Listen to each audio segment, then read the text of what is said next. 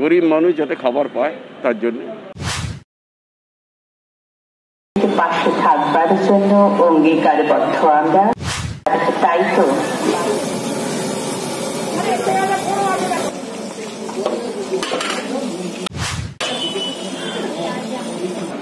হ্যাঁ হোয়াইট করে নাও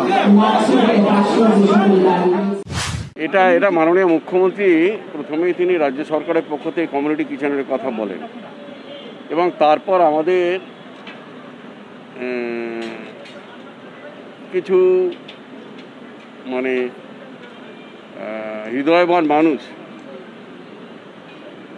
যাদের অর্থ বল আছে, তারা চেষ্টা করে আন্তরিকভাবে এইভাবে এগিয়ে এসছে। এখানে বিনা পয়সায় মানুষকে, চারশো মানুষকে প্রতিদিন খাওয়ানো হবে। খাবার দেওয়া হবে, বাড়িতে নিয়ে গিয়ে তারা খেতে পারবে। কোনোদিন কন্টিনিউ চলবে এটা। কোনো দিনের মধ্যে যদি করোনা প্রকোপ বা এই পরিস্থিতি স্বাভাবিক হয়ে যায় লকডাউন উইথড্র হয়ে যায়, তখন পরিস্থিতি বুঝে চিন্তা ভাবনা হবে, পরবর্তীকালে বাড়তেও পারে, আবার বন্ধ হতে পারে। এখন এটা অত্যন্ত মানে সময়োপযোগী সিদ্ধান্ত এবং মহৎ উদ্দেশ্য, এই উদ্দেশ্যে গরিব মানুষ যাতে খাবার পায় তার জন্য। যারা এই কারণে অনেকে রোজগার বন্ধ, অনেকে অভুক্ত থাকতে হয় অনেককে। সেটা যাতে না হয় তার জন্য এই ব্যবস্থা। আমি আন্তরিকভাবে স্বাগত জানাই। আমাদের মাননীয় মুখ্যমন্ত্রী মমতা ব্যানার্জির, মমতাময়ী রূপ সারা বাংলা তো দেখছে এবং সারা ভারতবর্ষও দেখছে।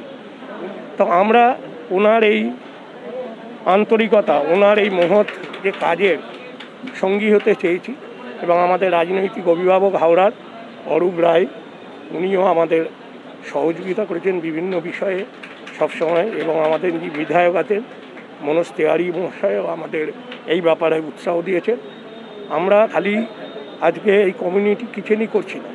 কমিউনিটি কিচেন আজ থেকে চালু করছি। পনেরো দিন ধরে আমরা এই কমিউনিটি কিচেন, এলাকার সমস্ত মানুষকে সম্পূর্ণ বিনামূল্যে প্রতিদিন চারশো মানুষকে কুপনের মাধ্যমে এখান থেকে ডেলিভারি দেব।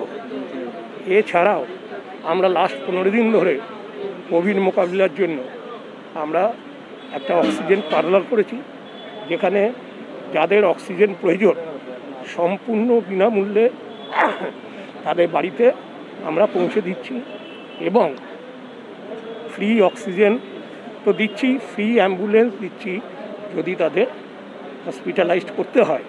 এবং যারা কোভিড আক্রান্ত, যাদের বাড়িতে কেউ নেই, তাদের সকাল, বিকাল তারা আমাদের হেল্পলাইনে ফোন করলে দুবেলা আমরা তাদের খাবার করছি। এই কাজটা করে অন্তরের যা তৃপ্তি পাচ্ছি, এতদিন বয়সে এত তৃপ্তি পাওয়া যায়নি। আমাদের পুরো টিম আমাদের সঙ্গে আছে, সকলকে নিয়ে আমার ফ্যামিলি আমার সঙ্গে সকলকে নিয়ে এই কাজটা।